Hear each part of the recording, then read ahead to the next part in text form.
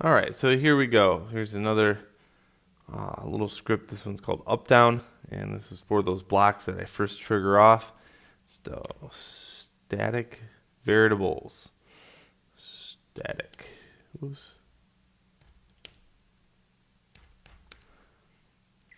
The static variable is called LE switch.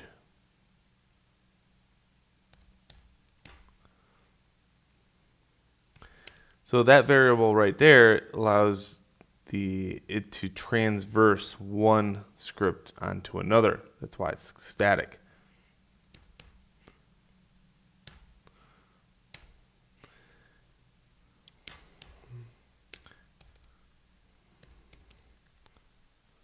And I'm going to put a simple trigger out there. Sometimes you can write a boolean for this, but I'm going to have a series of numbers.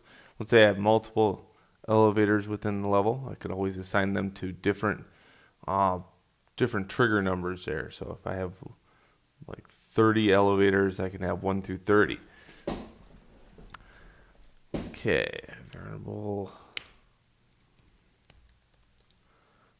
to describe the player.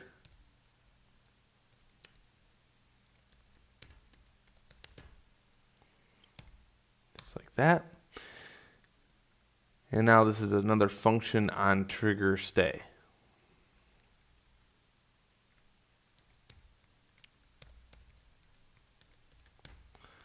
Probably the most used trigger out there because as soon as you hit it, it stays on until you hit something else where it might trigger it off. Okay, this is a very simple script. It's doing two things.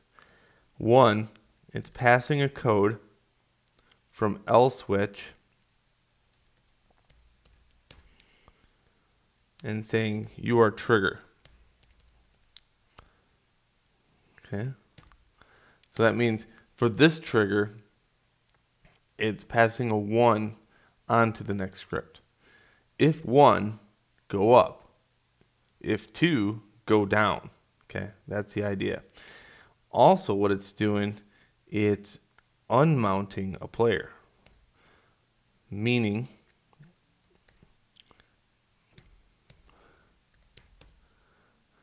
player parent equals null. So the other script, what the elevator up script is going to do, is going to parent it, and this script is going to unparent it. You don't want to keep uh, something actually parented and moving around outside its parent because it gets some wacky stuff going. So let's keep that. Now, now that you understand what this script is doing, it's basically just saying one. Okay, if one something, and the one's going to be passed on to the next script. It's also taking the parent and breaking it. So now let's go back to this one.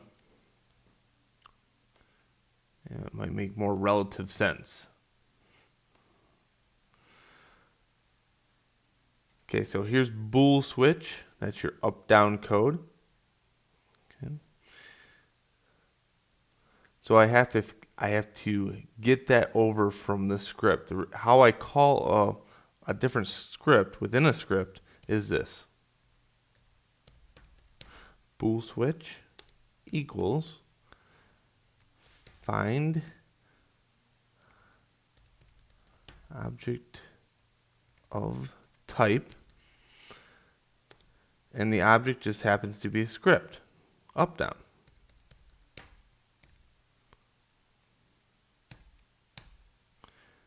Just like that all right, now I can start looking at the one that's coming over there and saying, well, if it's going to be one, which means if, if the character already touched that box, we can do some stuff. So if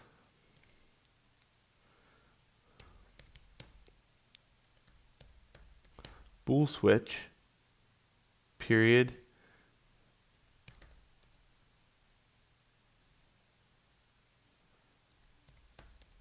So let me show you how that works. Here's bool switch. It's coming on bool switch. Here's the variable that's pulling over from down script. called Ella switch. Okay, so you see how that works. I'm pulling it into this script, assigning it bool switch, getting the other character or the other variable uh, by assigning it right here, and that's being pulled from the other script. Very confusing thing for a new student that's into uh, this stuff to kind of rack their heads around. So, you know, don't expect this to come overnight. That's for sure.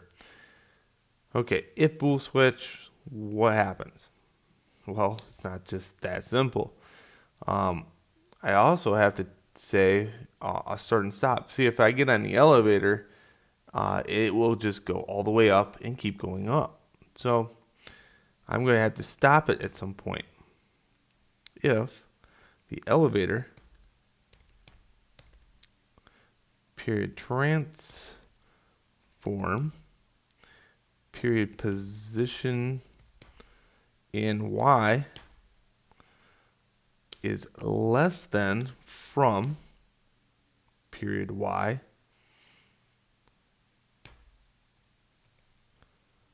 do something. Okay, I got a lot of do somethings out here. I got this. If it says this, it'll do this. If it says this and that, it will do something else. So a lot of you can you can stack your if statements. Very good there. All right, in the next video, I want to keep continuing this. I feel like I'm running out of time.